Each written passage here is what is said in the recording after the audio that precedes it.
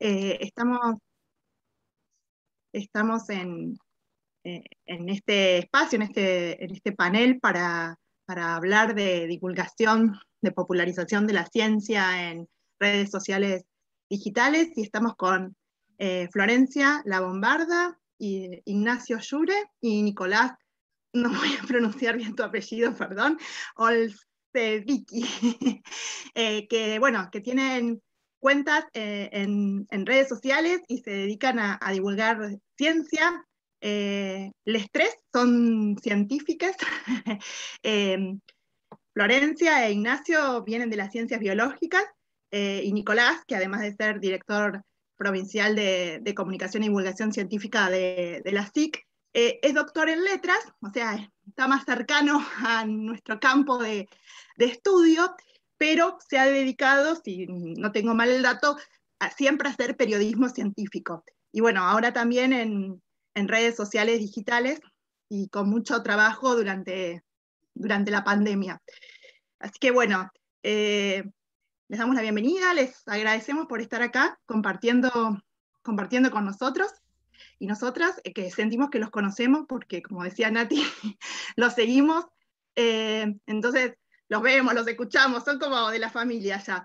Eh, y bueno, y tenemos como muchas preguntas para ustedes y vayan haciéndolas por el chat o si quieren levanten la mano y, y abran el micrófono para, para hacer preguntas. No sé, Valentín, si vos querés preguntar algo, decir algo. Bien, bueno, entonces... No, perdón. Eh, nada, eh, iba a decir eso, que cualquier pregunta que tengan, eh, la escriben al chat o levantan la mano, así lo hacemos de forma organizada, pero cualquier pregunta es bienvenida.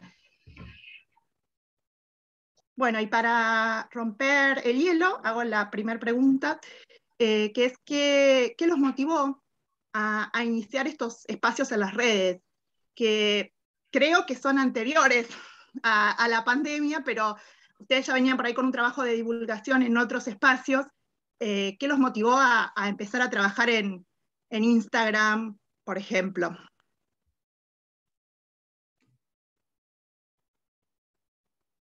Bueno, en nuestro caso muy particular no tuvo nada que ver con la divulgación lo que nos motivó a arrancar en Instagram. Nosotros arrancamos con un proyecto que era comercial en un principio, de venta de productos con impronta científica, ponerle tazas, vasos, mates con moléculas, cosas así, como una suerte de hobby, pues nos divertía hacerlos, porque estaban buenos y lo usábamos también nosotros, y también para financiar un poquito el proyecto, que estábamos en una época donde la ciencia acá en Argentina atravesó un momento muy duro, durante toda la era macrista, bueno, que el ministerio dejó de ser ministerio, había poco presupuesto, bueno, medio por eso hicimos la cuenta de Instagram, pero para vender. Después vino la pandemia y ya teníamos bastantes seguidores y dijimos, bueno, aprovechamos y empezamos a divulgar porque nos pareció súper necesario y ahí, bueno, realmente creció muchísimo y nos convertimos en Tomatelo Conciencia, que ya sí es una plataforma que se reconoce más que todo como una plataforma de divulgación. Sí, yo creo para agregar un poco eso, que en realidad el, viraje fue eh, preguntas de la, de la, gente, de nuestros allegados más cercanos, familiares, donde no sabían diluir la lavandina, no sabían hacer el alcohol 70, por qué 70 y no 100, y un montón de cosas que nos interpelaban, como supuestamente este, autoridad para hablar, porque éramos científicos, y que necesitaban justamente justificación, saber hacer las cosas, saber cuidarse al principio, ¿no?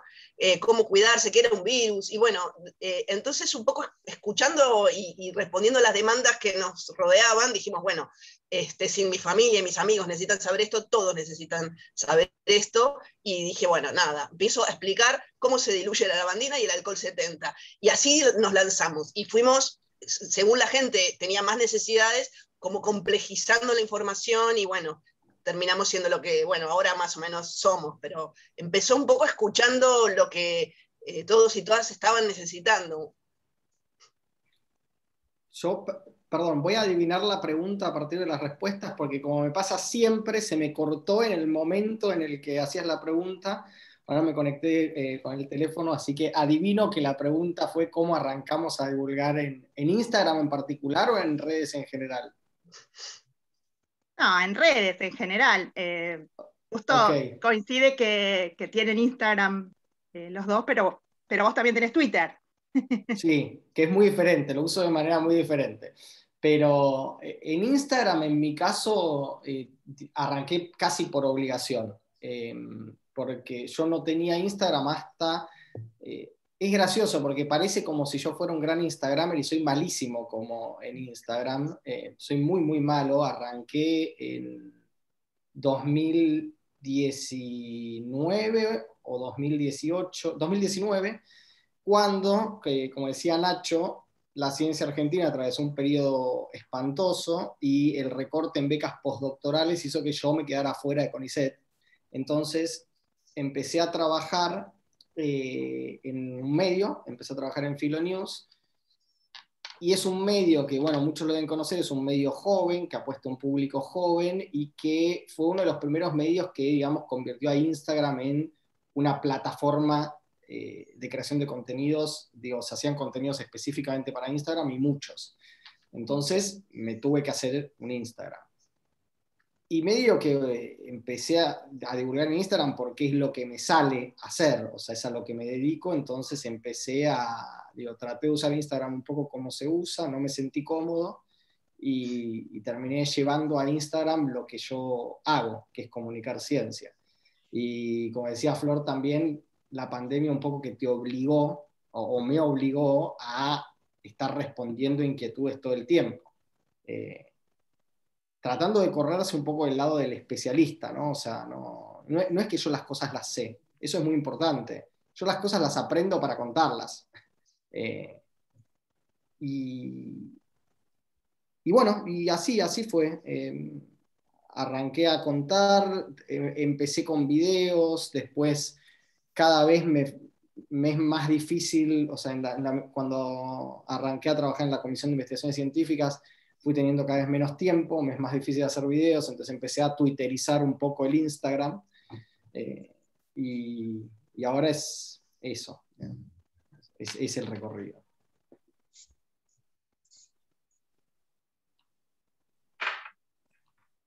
Yo tengo una pregunta para, para el estrés, que tiene que ver con eh, cuánto tiempo le dedican a, a, lo que producen a, ver, lo que producen comunicacionalmente, no al saber, porque sé que el saber que tienen lleva muchísimos años producir ese conocimiento, pero sí cuánto, digamos, cómo es el proceso de producción de los contenidos que ustedes, que ustedes suben. Pregunto esto porque cuando, no, a ver, cuando nosotros los vemos pareciera que sale, sale fácil, eh, y a veces, y muchas veces lo que sucede es que no sale tan fácil, digamos, que tiene muchas veces que uno lo graba, muchas veces que uno lo edita. Entonces quisiera que por ahí nos puedan contar, sobre todo para, para, para los estudiantes, eh, bueno, cómo es ese proceso de producción del contenido que ustedes suben. Y en nuestro caso es muy, muy variable y no somos tampoco, ponele, Instagramers típicos que tenemos que todos los días subimos un contenido. Por ahí pasan dos semanas que no subimos nada, porque estábamos a full con un laburo laboratorio, con un examen, con cosas de nuestra vida extra Instagram, entonces no producimos contenido eh, y de pronto por ahí estamos más libres y en una semana producimos varias cosas.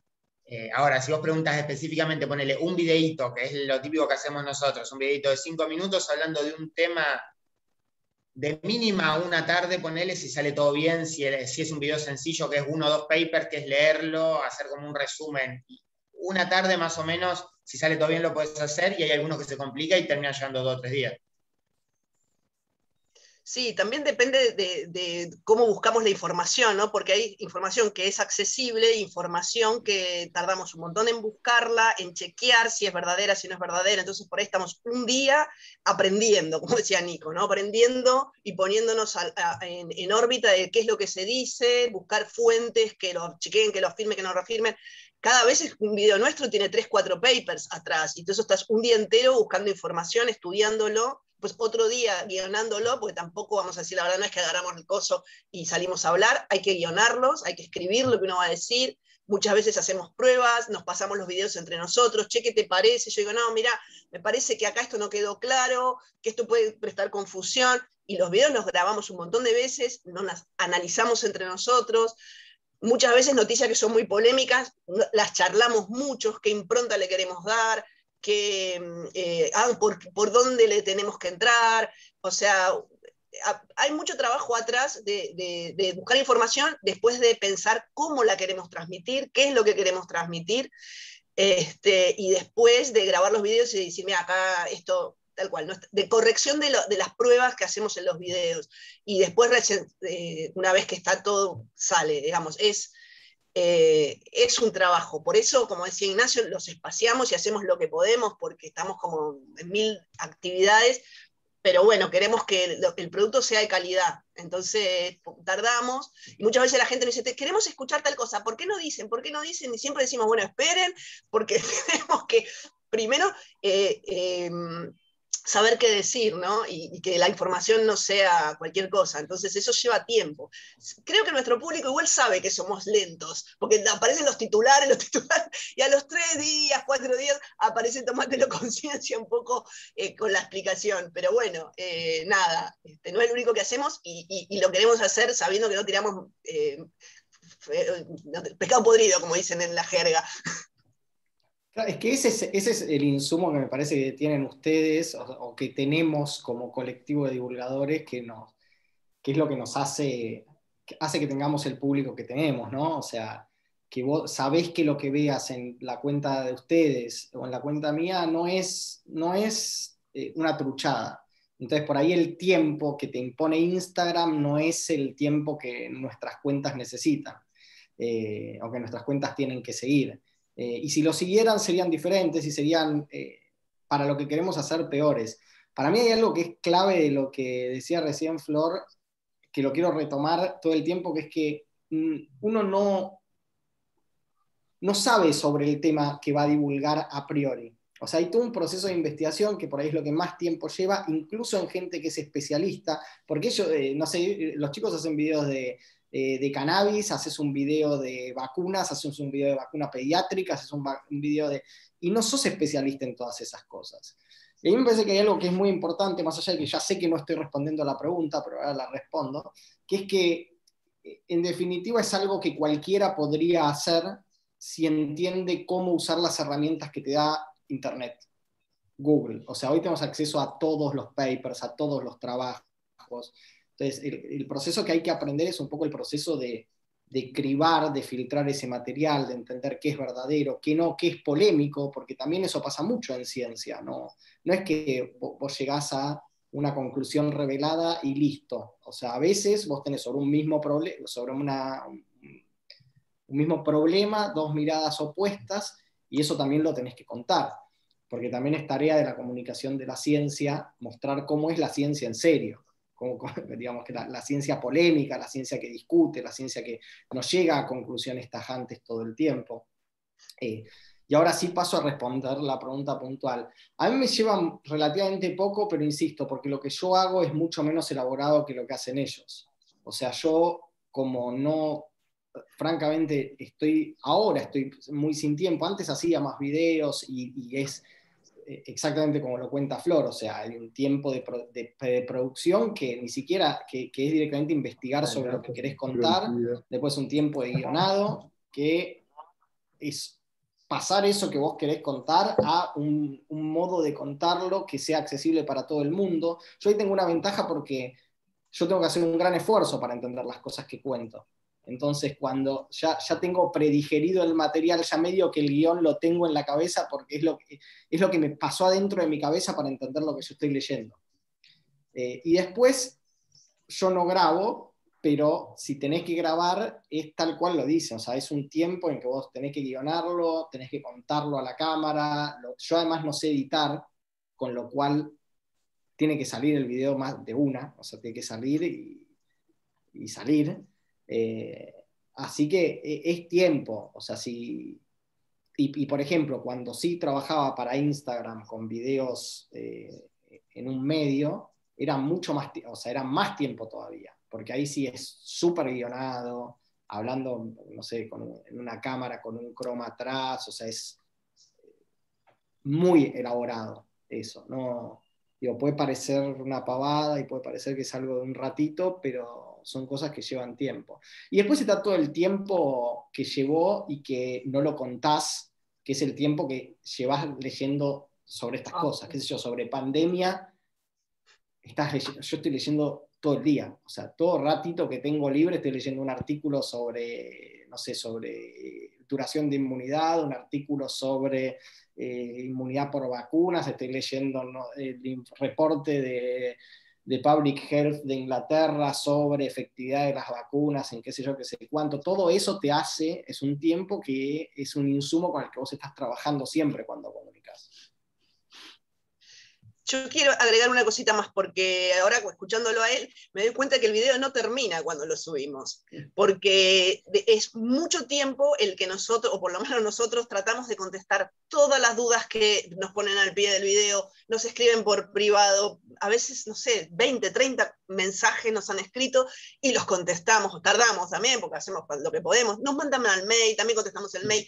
O sea, el, video no acaba cuando lo subís y empezás a recolectar vistas, sino que después también hay una disposición para hacerte cargo de lo que dijiste y eh, responder las dudas. Bueno, ni habla, de los haters los vamos a sacar del medio, pero también tenemos este, nada, una, contienda intelectual con, con algunos participantes otros necesitan más información, nos piden los papers por mail, le damos los papers, este, le, suministramos toda la información de la cual leímos. Yo no sé si la gente lo va a entender, algunos sí, porque nos siguen muchos médicos, nos siguen mucha gente que estudia biología y, otros que no, pero quieren tener el paper, quieren ver, aunque sea que está realmente publicado.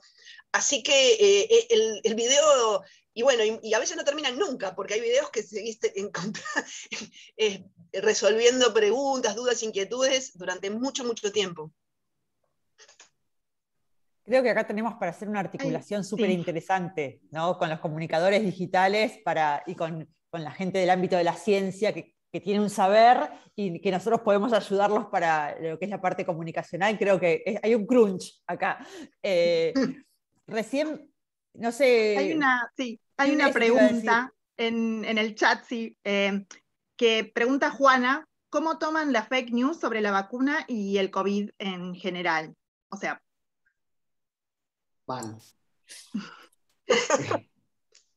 no, es una, es una cagada, o sea, y la verdad es que uno está, estás corriendo atrás de esas fake news un poco para desarmarlas lo antes posible, porque además son bolas de nieve. O sea, el problema de la fake news es que una vez que se lanza, si empieza a crecer, empieza a crecer, empieza a crecer, eh, bueno, llega mucho. Entonces uno tiene que estar, mm, bueno, creo que, creo que esa, fue una de nuestras funciones en general durante toda la pandemia, ¿no? O sea, tratar de desarmar eh, fake news, algunas ni siquiera son fake news, son desconfianzas interesadas. Eh, eh, dudas así planteadas como dudas, bueno, tenemos un ejemplo reciente los últimos, los, últimos tres días, planteadas como dudas de que no existen ciertos datos, cuando no hay por qué sospechar que esos datos no existen y terminan generando olas de desconfianza, que después es muy, muy difícil desarmar, porque ese es el problema, esas olas de desconfianza que arrancan cuando crecen, después es muy difícil desarmar porque además no, no existe el mismo poder mediático para armarlas que para desarmarlas. Eh, entonces, eh, yo creo que, bueno, una, una de nuestras funciones creo que fue un poco esa, tratar de responder desde nuestras cuentas lo más rápido que se pudiera, como decía Flor, muchas veces es más lento de lo que nos gustaría, eh, todas estas estos intentos de sembrar desconfianza en base a noticias falsas o malcomprensión de algunas cuestiones o comprensión malintencionada de otras. Sí, a mí me parece que con el tema de las fake news, eh, yo no las tomo tan mal porque el discurso de la ciencia en muchos casos eh, tiene una cuestión como de autoridad o como de un discurso único. Y las fake news, de alguna manera, hay veces que intencionadamente o no, como que vienen a muy fuertemente discutir este discurso, probablemente sin ningún tipo de base, pero hace de alguna manera que un saber científico se ponga en agenda, que la gente esté hablando del tema, mucha gente va a creer en la fake news, mucha otra gente no, y ahí empieza justamente nuestro trabajo de decir, bueno, ¿por qué esto es fake? ¿Por qué esto no es fake? no es lo mismo una opinión divergente que una fake news y hay veces que se mete todo en la misma bolsa. Y entonces, obviamente que son una cagada cuando tocan temas muy relacionados a la salud, porque por ahí si una persona no se vacuna por una fake news y después se muere, es una cagada. Pero más allá de eso, me parece que como comunicadores, a nosotros de alguna forma nos hace un favor y si lo que nos interesa es acercar la ciencia a la gente, es un terreno mucho más propicio para que la gente escuche o consuma ciencia cuando hay temas en discusión que cuando hay un discurso único que baja, que por ahí no es tan interesante.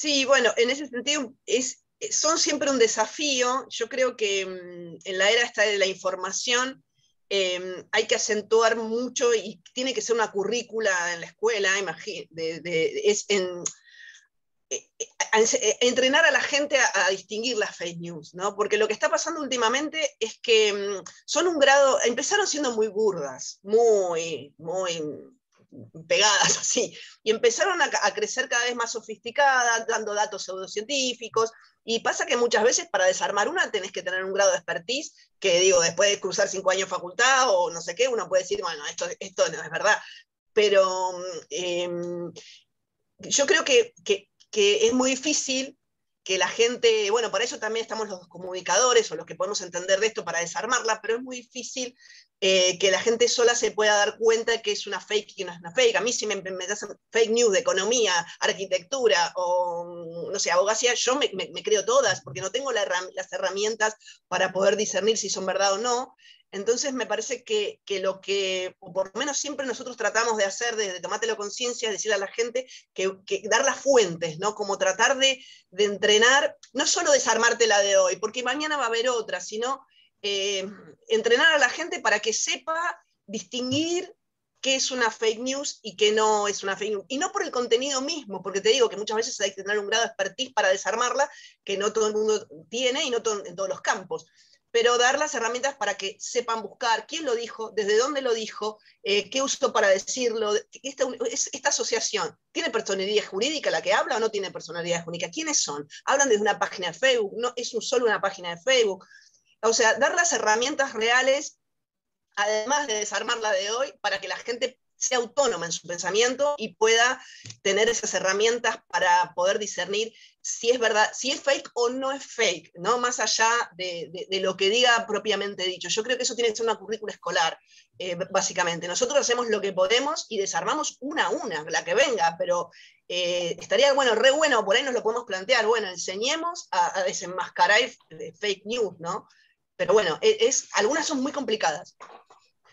Eh, con respecto a lo que decía Nacho, a mí me parece que hay, hay fakes y fakes, ¿no? O sea, hay fakes que tratan de eh, las más complejas y las más complicadas de desarmar, que aceptan la lógica del discurso científico o la lógica de funcionamiento de la ciencia, aceptan esas reglas del juego y construyen un conocimiento alternativo usando las mismas reglas. Eh. Entonces te ponen, te ponen papers, te, muestran que eso fue publicado, te muestran... Esas son más difíciles de desarmar, igual se pueden desarmar, por ahí requieren más experticia. Pero después hay, fake news que para mí son las más problemáticas en el sentido de que son las que más pegan, o sea, son las que más terminan pegando, que son las fake news que directamente no entran, no juegan el juego eh, que la ciencia te propone para saber qué cosas son verdad y qué cosas son mentiras. Eh, o, qué cosas son más aproximadamente verdaderas y menos aproximadamente verdaderas. Y con esa fake news yo no veo una posibilidad de diálogo desde la que crecer, porque lo que te, está poniendo en juego es el modo mismo en que la ciencia construye conocimiento. Eh, y ahí, para mí, hay algo que es muy jodido que, y que es muy, muy difícil de desarmar. Eh, es como la fake news conspiranoica, digamos, que es la fake news del momento, porque uno una vez piensa en fake news y piensa en las elaboraciones más complejas, en las que te dicen, no, mirá la, miocarditis en chicos con la vacuna y te ponen datos, pero la fake news que funciona es otra. O sea, la fake news que funciona es una fake news que, que funciona, quiero decir que es más masiva y que se transmite por WhatsApp y qué sé yo. Es una fake news que te desconoce las reglas mismas de funcionamiento de la ciencia. Eh, y, digo, con eso me parece que es muy difícil, o sea, es muy difícil eh, construir algo. Sí, total.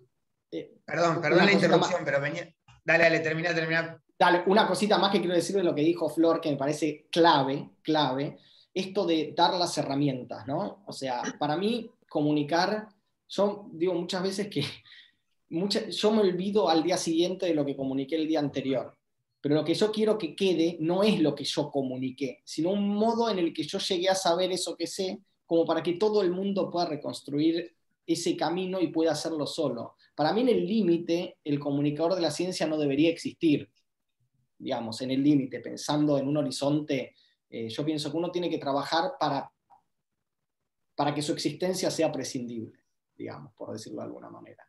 Entonces, que la gente que me sigue a mí dentro de cinco años o dentro de no sé cuánto tiempo sepa qué es lo que tiene que hacer cuando se enfrenta a algo que suena más o menos raro y sepa que lo tiene que ir a buscar a no sé dónde, que, tenga las herramientas para entender eso, que tenga las herramientas para discernir si eso es algo confiable o no, qué piensa la comunidad científica al respecto. Eh, e, eso me parece vital me parece que es la tarea de la comunicación pública de la ciencia. Perdón, Nacho. No, no, perdóname vos que yo te interrumpí. Lo que pasa es que venía justo al caso de eso que vos decías, de que hay dos tipos de fake news. Unas que son habladas desde la ciencia, que son con las cuales uno puede dialogar en un mismo lenguaje, ¿no? Y desarmarlas con otras publicaciones. Y después están las otras que surgen desde conspiraciones o cosas que no tienen, que no están apoyadas sobre un saber científico. Y en ese caso nosotros simplemente lo que tendemos a hacer es decir, bueno, mira, esto está construido, es conocimiento construido desde otro tipo de saber. Por ejemplo, si voy a hablar con un religioso, está bien, yo no voy a venir desde mi lugar a decir que ese conocimiento no es válido, simplemente voy a decir, esto no es ciencia. Ahora, no le digas a la gente que confía en la ciencia, porque cuando se enferma toma antibióticos y va al médico, no va por ahí a ese mismo religioso que está generando este contenido, que estás hablando desde la ciencia. Entonces, simplemente es eso, decir, bueno, mira, esto ni idea, yo no puedo discutir con esto porque es otra cosa. Y en el caso de lo que es conocimiento científico rebuscado, ahí sí se arma un diálogo con el cual se puede discutir. Claro, pero ahí tenemos un súper desafío. Esto lo tenemos un súper desafío porque es, uno piensa, comunicación pública de la ciencia, es tratar de llegar a la mayor cantidad de gente posible con el discurso de la ciencia, que creo que los que comunicamos ciencia creemos que es un discurso aproximadamente verdadero o más cercano a la verdad que muchos otros discursos. Y mi sensación es que si renunciamos a hablarle a esa gente, porque decimos, bueno, si vos crees en estas cosas, listo, creen estas cosas, estamos de algún modo renunciando a una parte fundamental de nuestra tarea. No sé si... Claro, pero la idea no es renunciar, la idea es decirle, mira, si vos crees en esto está bárbaro. Lo que yo te estoy diciendo es algo totalmente distinto. No, ni siquiera quiero pararme en el lugar de decirte mi saber es verdadero y el del otro no. Son construcciones del saber diferentes. Una es la científica, que es la que llevó a nuestra sociedad acá donde estamos hoy, viviendo 78 años como promedio de vida, qué sé yo. Es esta, es la científica. Después hay otras cosas que la ciencia nunca ha respondido y que a lo mejor nunca las responde y se construyen desde otros saberes que no soy yo nadie para decir que no sean válidos. Pero sí, a mí yo me conformo con que el público diferencie, bueno, este es un saber científico y este es no científico, sin la necesidad de anular ese saber que no sea científico. A mí me gustaría hacer eh, algunos comentarios porque hay muchas cosas que, tienen que ver con nuestro campo del saber, que tienen que ver con la comunicación.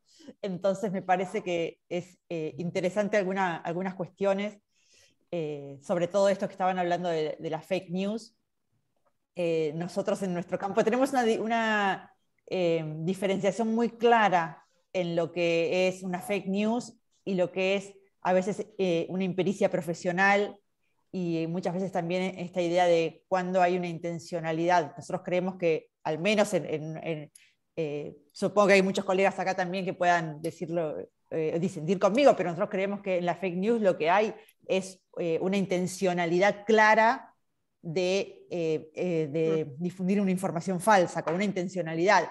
Distinto es tal vez la, cuestión de la impericia o de cuando no sé, siempre pongo el ejemplo de cuando decían que Timoteo Grigol había muerto y no había muerto, y en realidad era que no estaba chequeada esa información.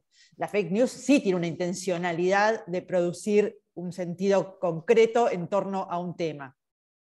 Pero después a mí hay algo que siempre me, interesa muchísimo poder pensarlo y, charlarlo con ustedes, que tiene que ver que muchas veces en los territorios digitales, eh, y por eso me parecía fundamental esto que hablaban de chequear las fuentes, de, enseñar a validar la información, a dónde voy a validar yo esto que, esto que sé.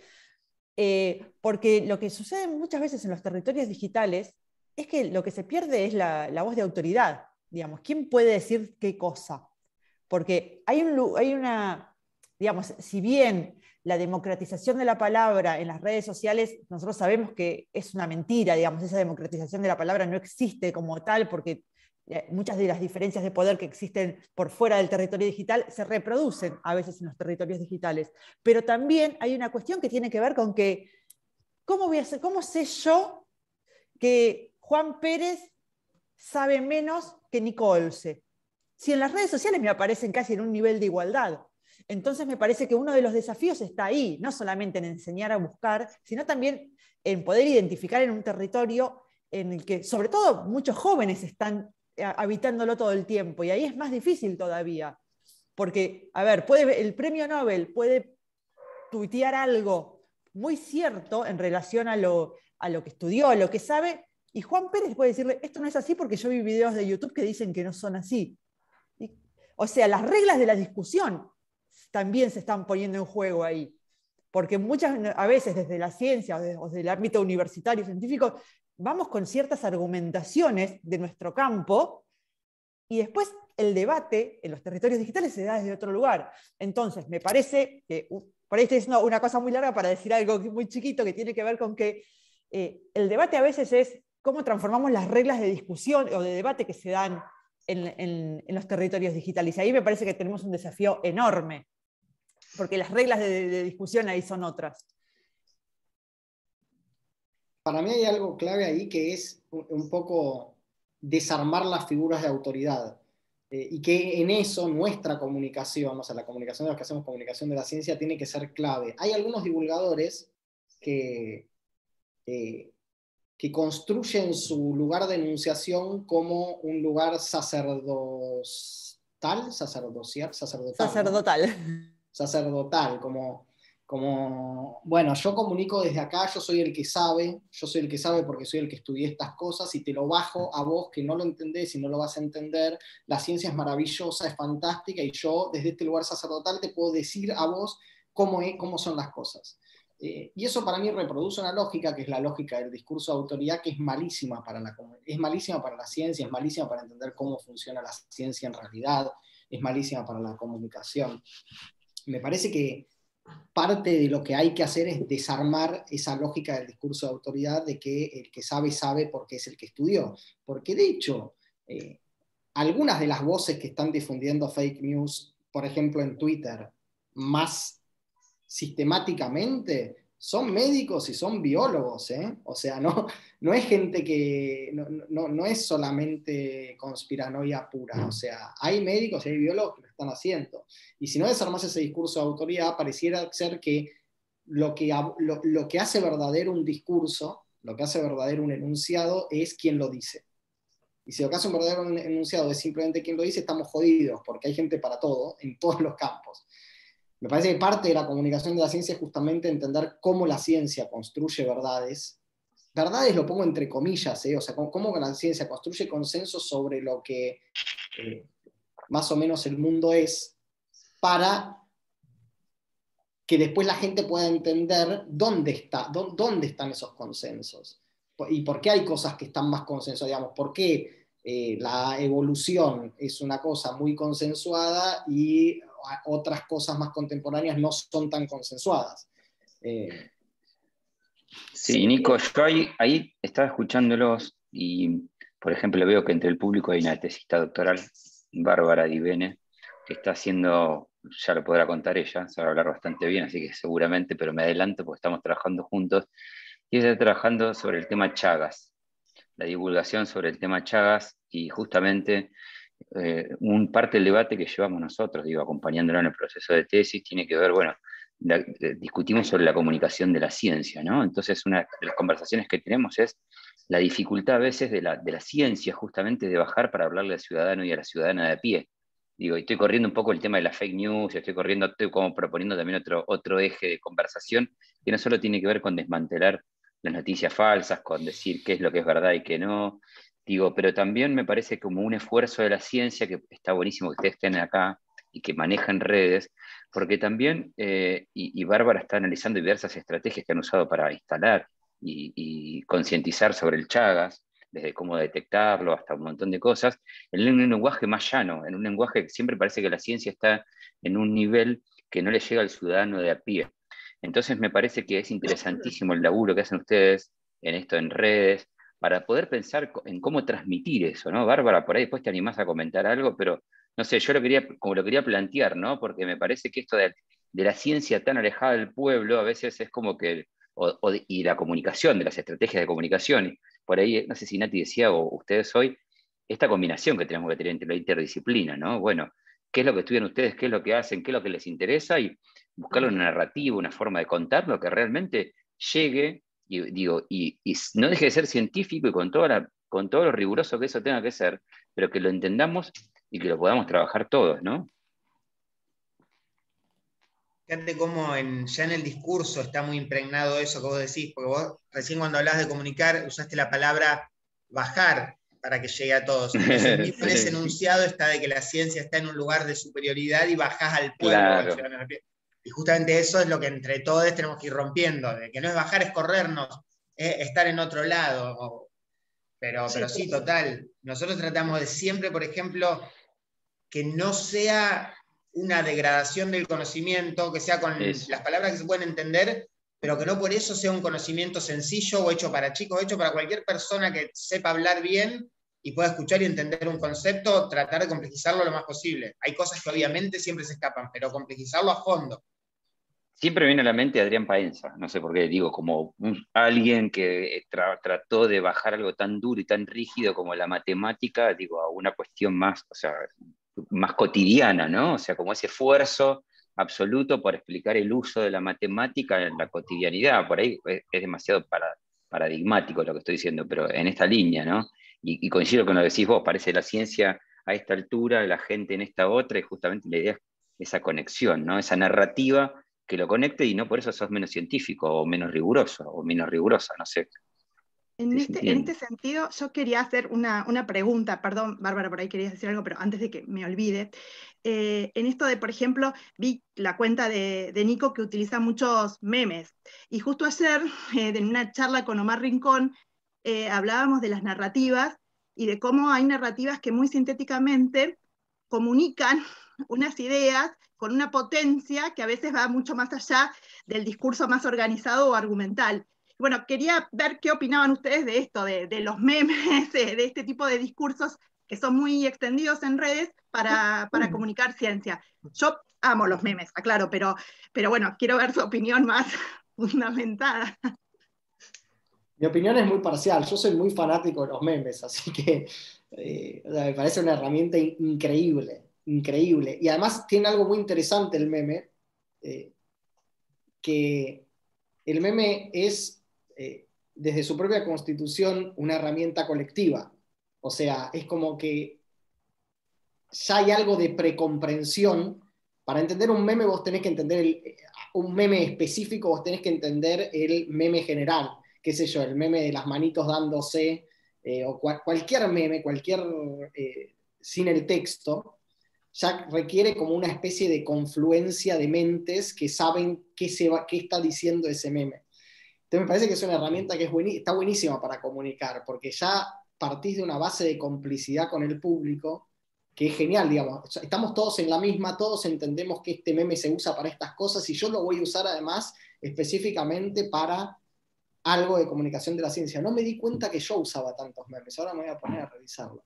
Pero soy un me gran encanta. consumidor. El del perrito y el matafuego, ¿qué, ¿qué, efecto puede tener el matafuego cuando todo se está incendiando? Es lo más. Y el de Viviana Canosa, Véanlo, porque Viviana Canosa, tomando, muy bueno también, aparte, eh, como esta idea muy sintética eh, de comunicar una idea que es muy potente, es decir, esto, ¿cómo desarmamos la fake news? Bueno, fíjate, Viviana Canosa, bueno, no sé, a mí me parecen maravillosos, para mí, para, mí es una herramienta que es, es buenísima, o sea, es buenísima y hay que explotarla, porque eh, porque además tiene una, tiene una potencia que es interesante, que es la potencia viralizante, ¿no? que uno siempre piensa en la viralización como algo malo, pero a veces lo que se puede viralizar es algo bueno.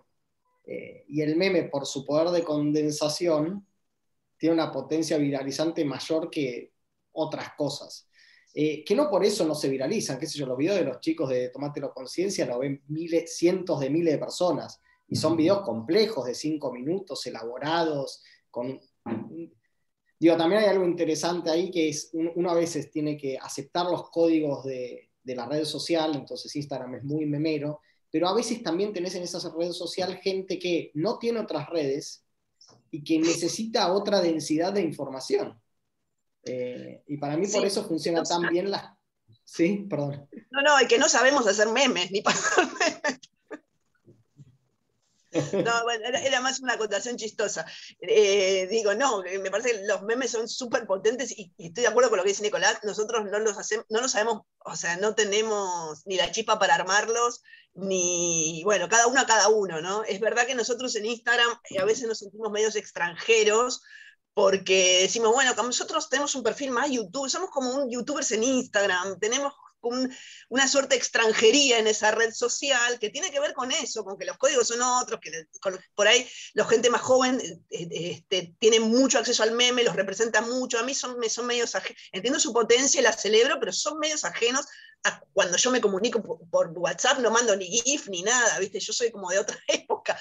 Entonces, eh, pero bueno, me parece que es la manera de comunicar, sobre todo a la gente joven. Pero bueno, en ese sentido, en nuestra red tenemos cierta extranjería con Instagram desde muchos puntos de vista, quizás en el uso de, este, estas herramientas más modernas, eh, no somos los Instagram que te voy a mostrar cuando me voy a, cómo tengo mi casa o dónde me voy de vacaciones o ay, estoy en el supermercado, digo, cero, ni siquiera lo hacemos en el laboratorio, tenemos como mucho, será, no sé, estamos debatiéndonos si convendrá introducir al laboratorio, imágenes del laboratorio o no, en la cuenta, digo, todo lo charlamos mucho nosotros también, por ahí somos en eso eh, no, tan espontáneos, pero bueno, eh, en ese sentido jugamos otras reglas en Instagram y eso me parece que, que bueno, este, que pues, también es nuestra impronta y nuestra personalidad, pero bueno, todos los días nos vamos planteando cómo queremos que sea la cuenta en realidad.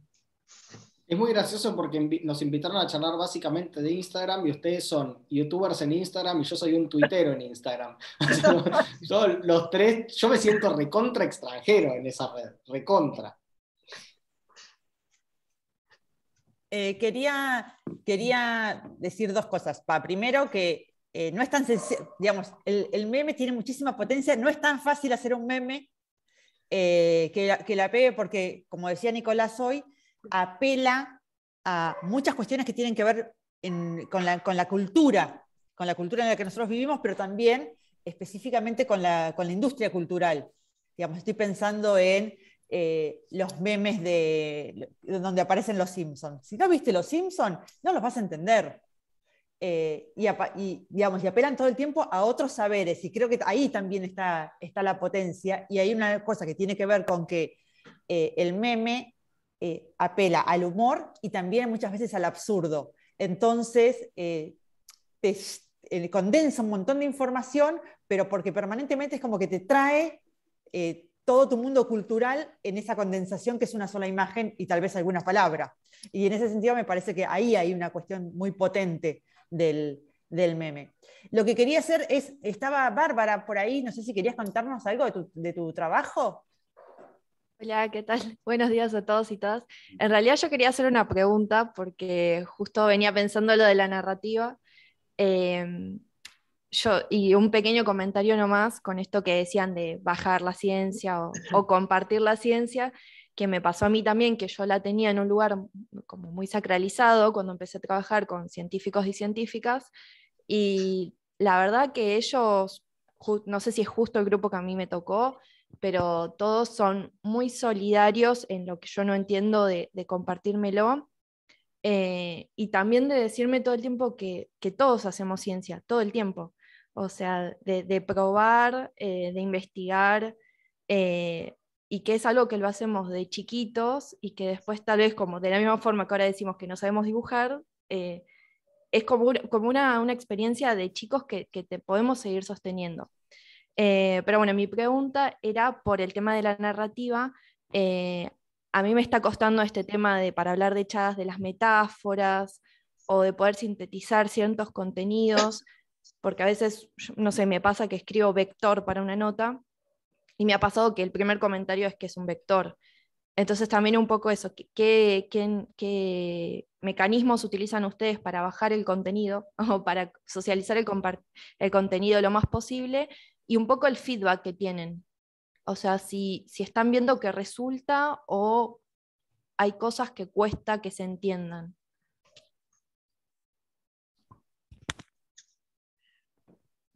Bueno, qué pregunta difícil. Em, nosotros, bueno, cuando armamos las cosas, eh, siempre tratamos de, cuando introducimos un término, definirlo no dar por sentado que, un término académico, ¿no?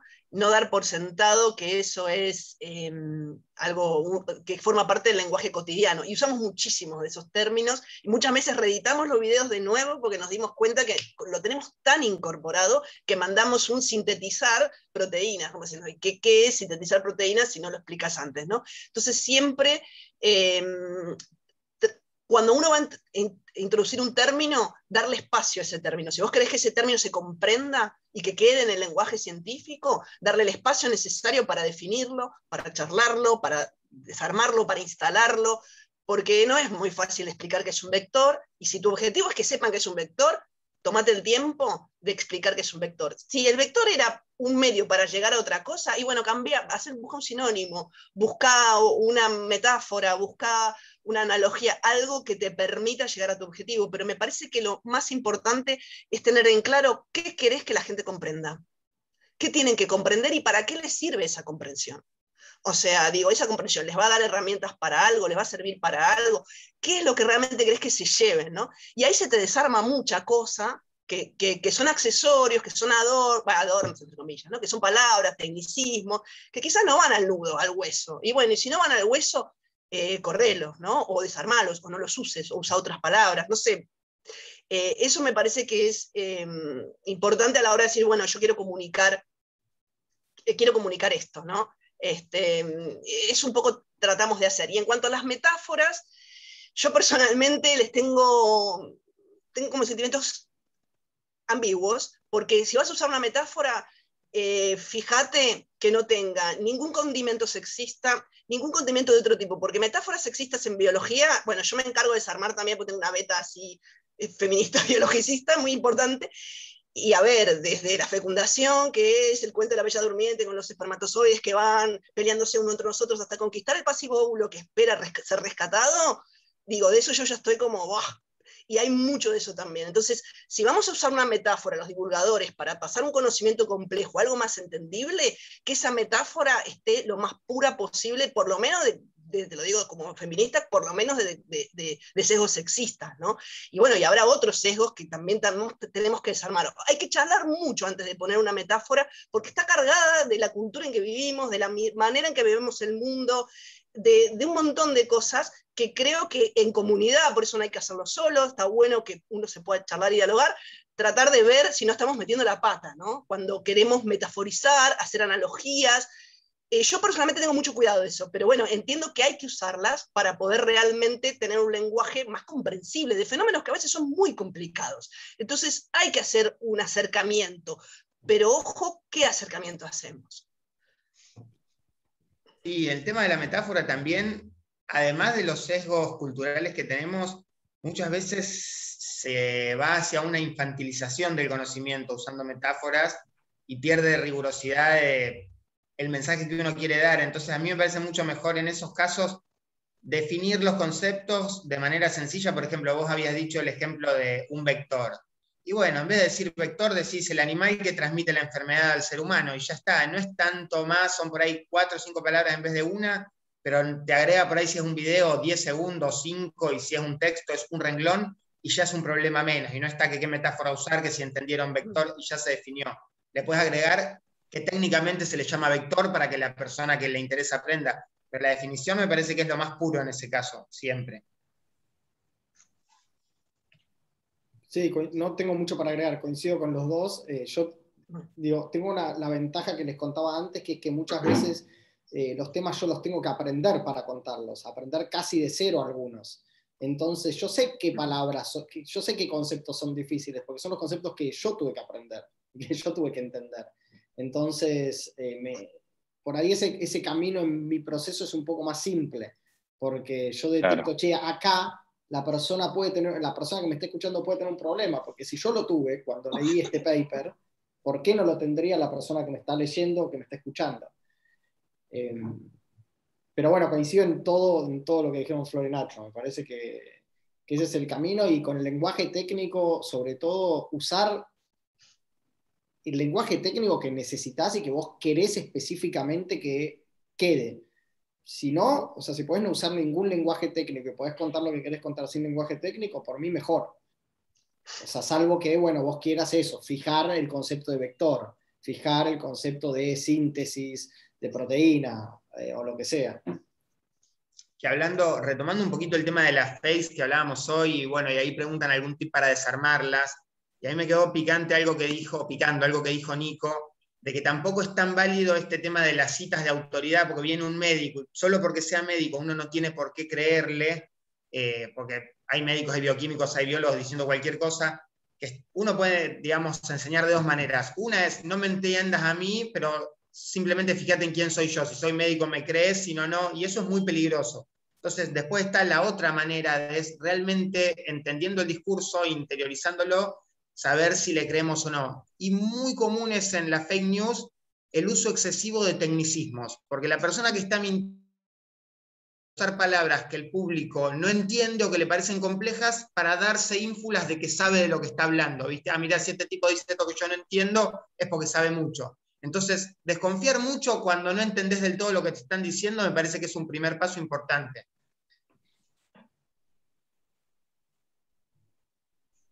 Eh, ¿No sienten que ahora hemos incorporado, a, raíz un poco de la pandemia y de, una circulación en medios grandes, más lenguajes técnicos, incluso a veces en este sentido de como que eh, todos podemos hablar de inmunidad, de anticuerpos, incluso en un sentido que no, no, no termina de ser eh, científico o, asertivo.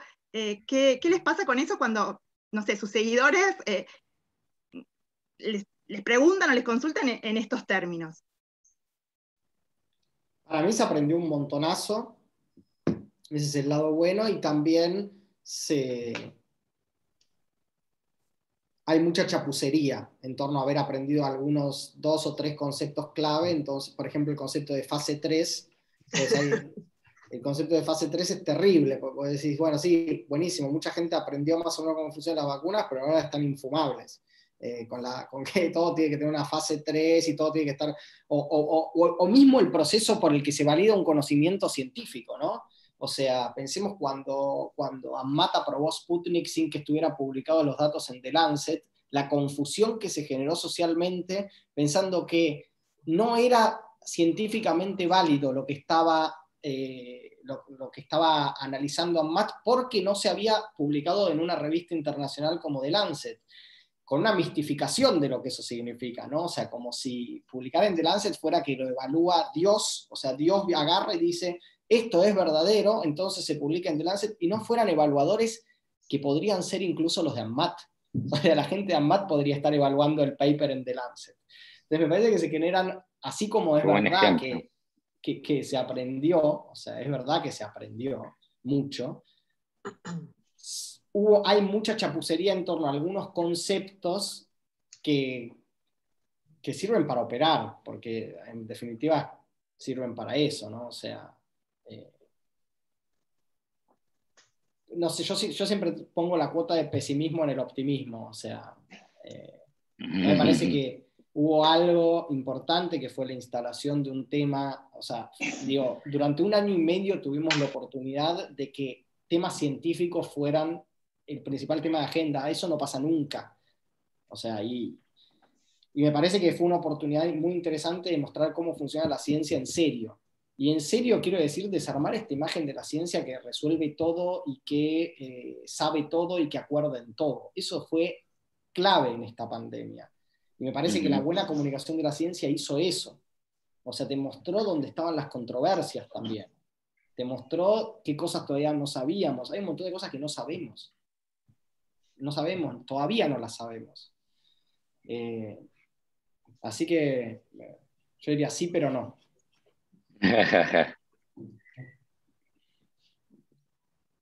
Sí, en eso también creo que costó, o sea, que sobre todo por, por los comentarios que recibimos de, la gente que forma parte de la comunidad, como que mm, el entender la dinámica del pensamiento científico y que no son verdades absolutas, sino que se van construyendo día a día y que lo que dije hoy, por ahí te lo tengo que decir mañana, que es un proceso lento y bueno, todo lo que sabemos que es eh, o con los que estamos parte, los que somos parte del, del, sistema científico, sabemos porque trabajamos de eso, entonces en realidad eh, la gente se pensaba que la ciencia, tenía una, una, mm, una voz de autoridad, de verdad absoluta, que nunca se equivoca y que dice las cosas como son.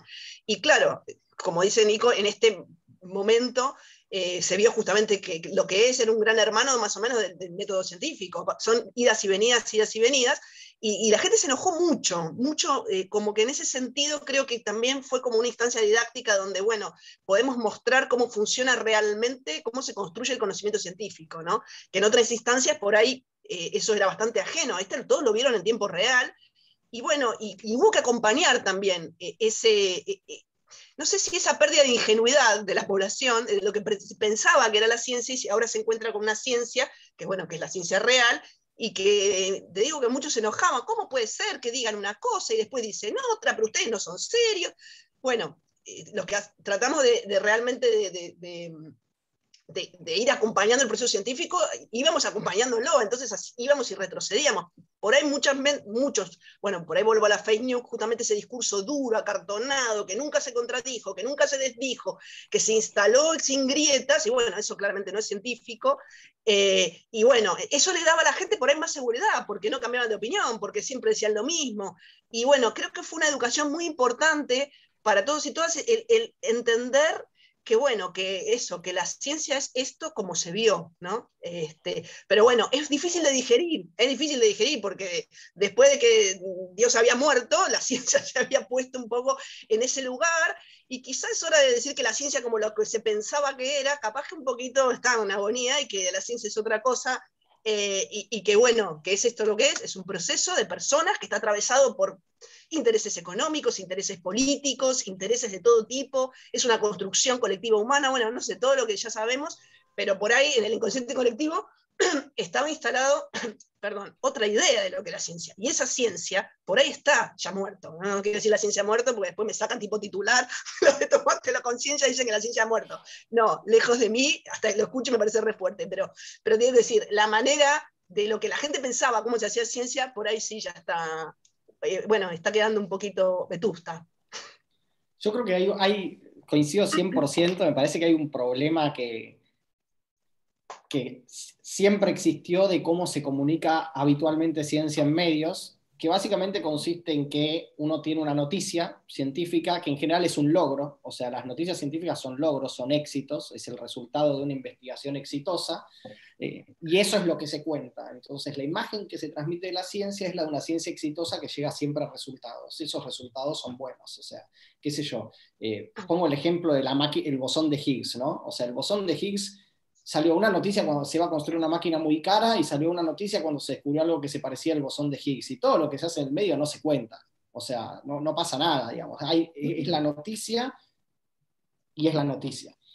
Eh, y un poco lo que, lo que pasó en esta pandemia es que había noticias todos los días, pero entonces uno podía hablar de ciencia todos los días, pero como, como dice Flores, esas noticias se contradecían muchas veces o, o eran noticias en tensión.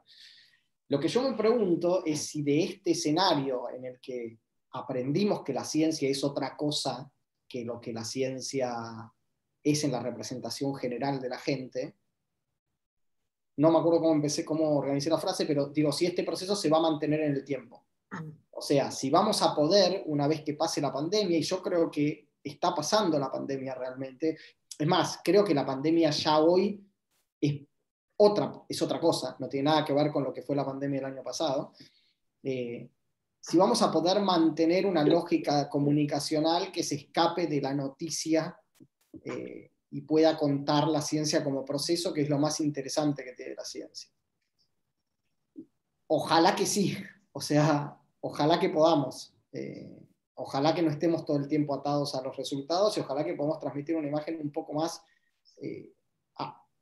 más empíricamente adecuada de, de, cómo funciona la ciencia en realidad, que para mí es el objetivo último de la comunicación de la ciencia. O sea, el objetivo último para mí no es comunicar contenidos específicos, sino que se entienda más o menos cómo funciona ese quilombo que es la ciencia, donde hay intereses políticos, donde hay intereses económicos, donde hay eh, sesgos, pero que nos ha permitido llegar a conocimientos aproximadamente verdaderos sobre el mundo, para mí, y acá eh, por ahí me peleo con Nacho, mejores que otros conocimientos. O sea, para mí son superiores en términos eh, epistemológicos. Eh, entonces, bueno, digo, también hay que moverse en ese, en ese equilibrio delicado, ¿no? entre no sacralizarla, porque no hay que sacralizar la ciencia, pero también uno tiene que justificar al fin de cuentas porque uno quiere que el Estado invierta en ciencia y no en chamanismo, por ejemplo. ¿No? O sea, ¿por qué le pedimos al Estado que ponga plata para un tipo de saber y no para otros tipos de saber? Claro, porque es el saber que ha demostrado tener resultados que fueron tremendamente útiles para el desarrollo de nuestra sociedad. En ese sentido, sin lugar a dudas, es superior. Eh, yo digo que por ahí no me gusta ponerlo en términos de bueno, malo, mejor o peor, digamos, epistemológicamente, obviamente que es superior, pero la epistemología también es otra ciencia, entonces ahí como que hay algo que se, se hace un poquito circular, pero sin lugar a dudas, desde ese punto de vista, desde el punto de vista de los resultados que tenemos, va a ser superior. Pero de lo que estaban hablando recién, eh, de romper un poco esto de la ciencia como discurso único, eh, a mí me parece que es la humanización de la ciencia lo que se produjo con la pandemia un poquito, de tener entendido que hay intereses políticos, económicos, todo eso, pero sobre todo tener entendido que somos personas digamos, que la ciencia está hecha por personas y que no somos tan distintos de, cualquier persona que hace ciencia, que hace abogacía, que hace gas, grifería, cualquier cosa, ¿no? Entonces, si humanizamos la ciencia, ya no va a ser tan raro pensar en decir, uy, un día dijeron una cosa, un día dijeron otra, porque las personas decimos todos los días cosas distintas. Entonces, la ciencia no es otra cosa que una construcción humana y ahí ya se hace todo más sencillo. Además, hay algo que está buenísimo, que es que en realidad todo metalenguaje se simplifica para comunicarse. Eh, el metalenguaje jurídico se simplifica para comunicarse. O sea, no sé por qué se arma tanto quilombo con que el metalenguaje científico se simplifique para comunicarse, porque es lo, es lo razonable con todo. O sea, un metalenguaje es un lenguaje que entiende muy poquita gente y que tiene que estar muy adentro y estar muchos años hablando en ese código para entenderlo. Pero digo, pasa con todas las disciplinas, incluso con las disciplinas no científicas, eh, que, digo, cuando uno lee la parte de, judiciales del diario, si alguien hace eso, eh, uno tiene que, digo, hay, necesariamente una simplificación de los procedimientos y qué sé yo. Eh, Inclusive en ese sentido, la comunicación científica me parece muy superadora por parte del colectivo de científicas que tratamos de comunicar a la comunicación o divulgación en otros ámbitos, como por ejemplo el jurídico, propiamente dicho. Ponele, yo ayer me peleé justamente con mi viejo y con mi hermana, que son abogados, los dos, mi familia son todos abogados menos yo. Yo le decía, en esta sociedad, en este momento, ponele, con todo lo que pasó con el lawfare, con un montón de causas que algunos dicen que fueron armadas y otros dicen que no, está bien, yo no tengo las herramientas porque no soy abogado, pero ¿cómo no surge desde el colectivo de abogados cuentas como la nuestra de Instagram que te digan, mira, esto es cierto por esto, esto, esto? Este procedimiento está mal, este procedimiento está bien, separarlo un poquito de lo político, como pasó con el COVID, que surgieron fake news y bueno, y aparecimos científicos, médicos, gente que te dijo, no, mira, científicamente esto está bien, esto está mal, después, bueno, saca tu conclusión. Pero no pasa con la abogacía, por ejemplo, eso, o no de manera tan clara. Totalmente, y además me parece que es un, es un mito que los científicos no quieren comunicar. En todo caso, a muchos les faltan las herramientas, o sea, las herramientas comunicacionales, eh, que tampoco creo que sea una cosa tan compleja, qué sé yo, eh, pero, pero es falso, o sea, yo en mi experiencia cotidiana no me, ha, no me ha pasado una sola vez que yo le diga a un científico o científica, che, quiero comunicar algo de esto, te copás y me diga que no no me ha pasado. O sea, en general hay mucha voluntad de comunicar, mucho desconocimiento de cómo se hace. Pero bueno, ahí, ahí estamos nosotros también, ¿no? Sí. Poco lo que planteaba Bárbara hoy, que, que hay disponibilidad de los científicos a comunicar. Bueno, por ahí en las herramientas, en el buscar cómo y en la forma de llegar a, más personas, me parece que está el desafío, ¿no? Y también pensando en la, estamos en una jornada de comunicación digital, en pensar en las características de las plataformas, Digo, las narrativas también se construyen vinculadas a, por supuesto, en este caso al saber científico, pero vinculadas también a, las reglas que rigen y, que de alguna manera encarrilan esas narrativas, ¿no? Hay una forma de relato que tiene que ver también con la, digo, la atención, el tiempo, el balance entre imágenes y texto, eh, la forma de narrarlo, o sea, el, el guion ese de cómo lo habla y cómo te interpela, o cómo te llega. Digo, pasa con los productos, cuando se venden los productos, no se venden más productos, no se vende más que pasa con un mate o con una yerba donde tomás, sino la experiencia que te genera. No digo que debe correrse la ciencia a eso, pero digo que siempre me parece que la interpelación a lo que te sucede como ciudadano, con eso que estás comunicando como ciudadana, es, importante. Estamos asistiendo a algunos debates en las charlas y estoy tratando de sintetizar lo que dicen ustedes con lo que han dicho eh, en otras conversaciones que me parece muy interesante esta, esto que estamos justamente conversando, ¿no? Hola, buenos días eh, a, todos y a todas.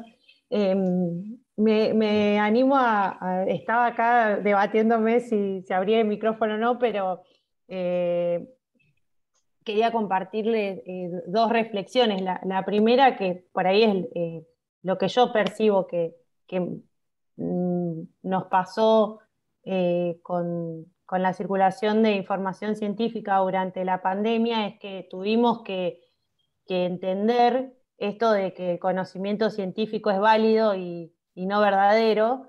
Eh, y, en, ese sentido me, estoy de acuerdo un poco con, lo que dijo Florencia, que eh, bueno, la ciencia estaba o está, no, no, no sé si me animo a decir estaba, pero endiosada en un sentido, bueno, lo, que, lo que dice el médico es lo que dice el médico. Bueno, pues si ocho, hay ocho médicos y los ocho dicen algo distinto, ¿quién tiene razón? Bueno, un poco eso.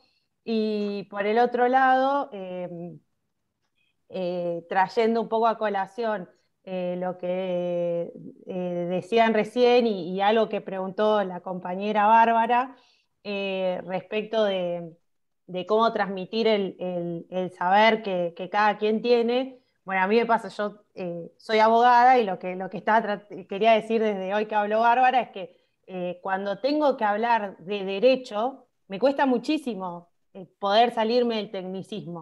O sea, le habrá pasado mucho que le preguntan a algún abogado y la respuesta es, depende, porque como que la, esto de, de, la aplicación al caso y explicar y querer dar la excepción y también este, me, cuesta un montón y, en ese mismo sentido, como que me sentía empatía por Bárbara, decir, bueno, mucho más si lo que uno trata de explicar es de, un campo científico que no es el propio. decir, bueno, encima tengo que, explicar desde las ciencias sociales, que es mi campo, qué es lo que pasa en el, en el mundo de, la biología y por ahí vos decís, bueno, no tengo otra forma de explicarlo que no es decir que es un vector. Este, bueno, que hay ahí una, dificultad. Eh, esto de ponerle ahí, hay una página que se llama Memes Jurídicos de Instagram que para mí es fantástica. Eh, y a veces comparto los memes y mucha gente me dice, no, no entiendo el chiste, me contesta. Este, bueno, eso. Gracias. Bueno, pero ahí Agustina, Agustina creo que eh, vas a poder hacer el, combo y, ahora pensar, pensar cómo comunicar el derecho con, estrategias de, que te aporte el, campo de la comunicación. Eh, bueno, no sé si, alguien más eh, quiere hacer alguna pregunta, si, si quieren comentar algo, si no ya como les hemos quitado un tiempo valioso, eh, o no, no sé, esto es muy productivista lo de quitar el tiempo. Hemos aprovechado el tiempo eh, para, discutir sobre estos temas. Hoy Florencia nos comentaba algo que le había pasado con un video en Instagram y si, si te parece y querés comentarlo y cerramos con eso, si no hay más preguntas o no hay más comentarios. Bueno, nos pasó ayer que mm, habíamos hecho un video sobre mm, la vacuna de Sinopharm para menores, para las infancias de 3 a 11 años, y Instagram anoche, bueno, antenoche nos lo bajó directamente, porque infringíamos las normas y las políticas de la plataforma, ¿no? Bueno, porque ellos sí son todos poderosos. Entonces, em, bueno, me metí a ver, supuestamente, o sea, te dan una lista de cosas que no tenés que hacer, obviamente no hicimos ninguna, lo único que podíamos llegar a infringir era que eh, promover la antivacunación, justo nosotros. Pero bueno, este, y nos lo bajaron directamente al video. Entonces, esto da mucho que pensar, porque eh, consultando con otros Instagramers a ver qué había pasado, me dijeron, mira, lo que hicieron es que se te denunciaron un montón, te pasaron el escáner del, algoritmo de Instagram y algo no pasó el escáner y te bajan el video, chao, listo, no hay más debate, se acabó.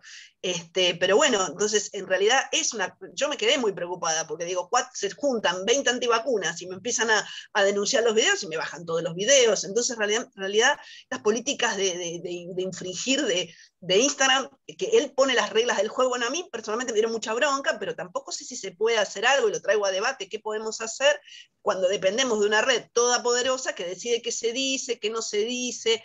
Es, em, digo, ahí como que te caes en la cuenta que estás preso de un sistema que creó otro y que te están dando un espacio para que vos comuniques, pero en realidad las reglas del juego están puestas, son muy claras.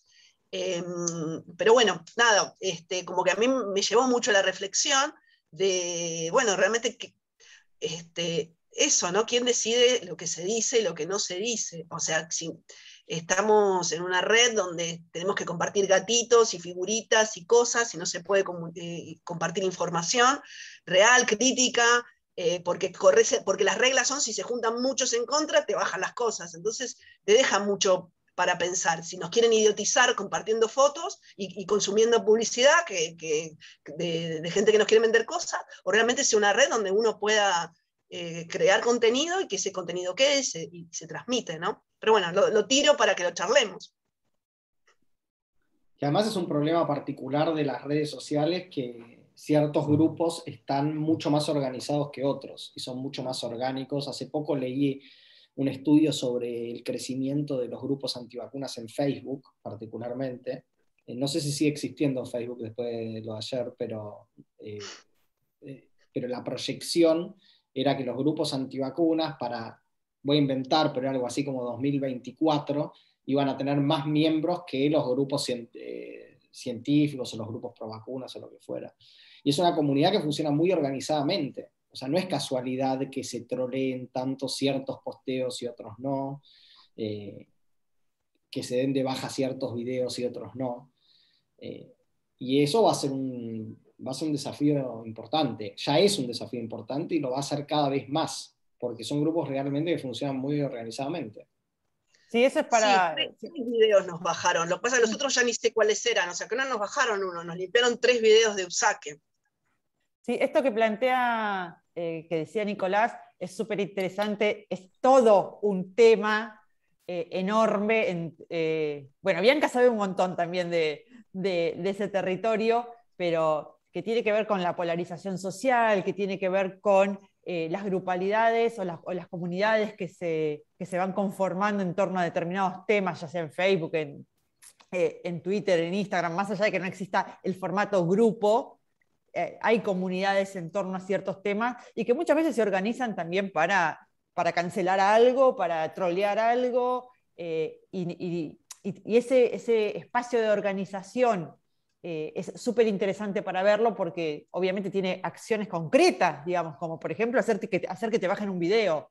entonces es súper interesante ver cómo es que funcionan estos, estos espacios y cómo construyen poder también. Eh, que no es menor eso, me parece que es súper interesante también para, para pensarlo.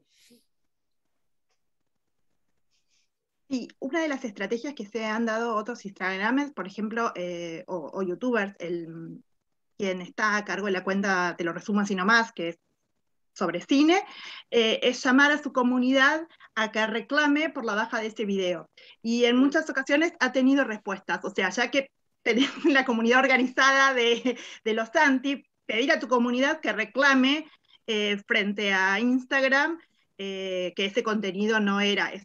Pero sí, es cierto, estamos en, manos de, reglas que, que ponen CEOs de empresas Mark Zuckerberg en este caso, eh, y sus propias políticas de lo que ellos consideran. Bueno, y, todo lo que hemos eh, debatido en distintos paneles ayer con, Natalia Arguete respecto de, esto y, cómo funcionan las redes.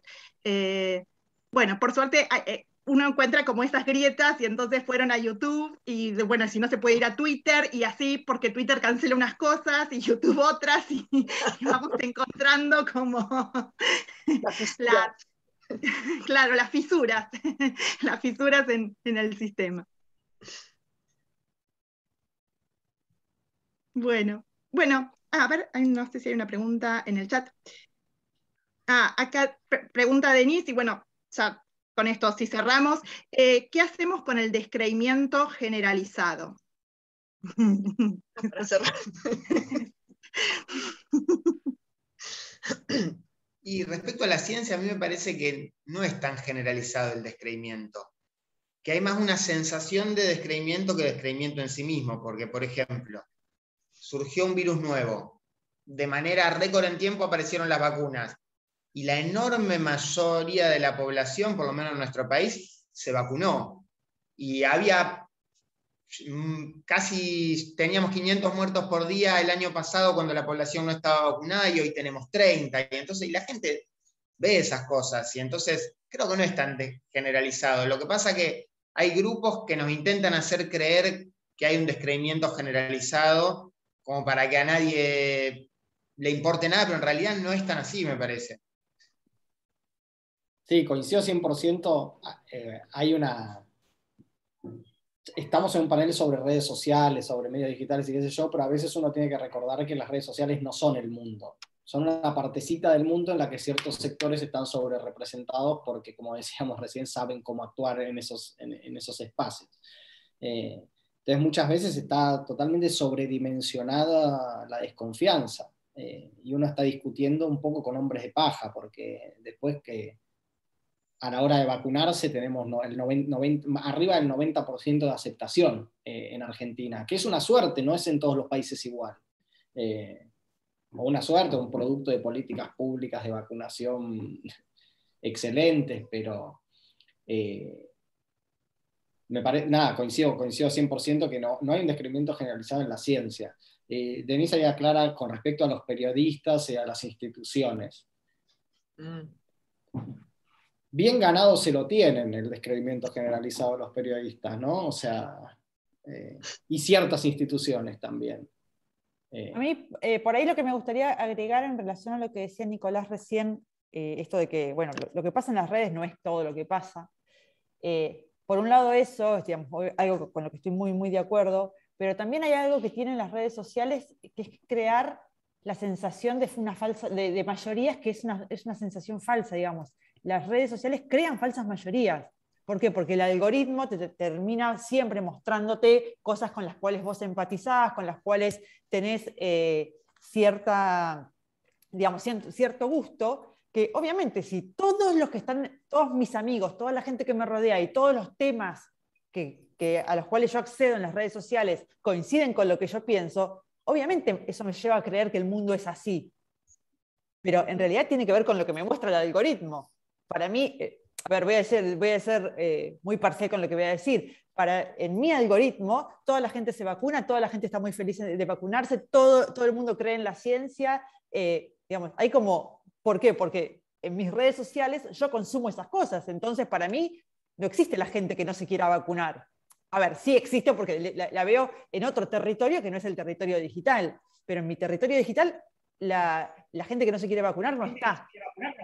está como muy al margen de, mi territorio. Entonces, nada, me parecía que era importante o interesante esto que planteaba Nicolás respecto de, eh, bueno, no todo lo que pasa pasa en las redes sociales, digamos, afuera también hay otras cosas, en otros territorios, digamos. Es lo que decía Aruguete ayer en una charla anterior de inauguración de los elementos de encuadre, ¿no? Entonces, que, hace un análisis justamente de las comunidades y cómo la gente genera identificaciones, y en esto no es todo lo que pasa, sino que hay algunos elementos de encuadre que hacen que uno, o sea, que reafirman posiciones que uno ya tiene, tal vez, no necesariamente es que todos crean eso, me parece que es importante, ¿no? Hablarlo, por eso también nos sirve, porque si no es como que nunca podemos salir de esos discursos que parece que son nada más que los hegemónicos y los que priman en el mundo y que no hay otro público para hablarle porque están todos convencidos y convencidas de eso.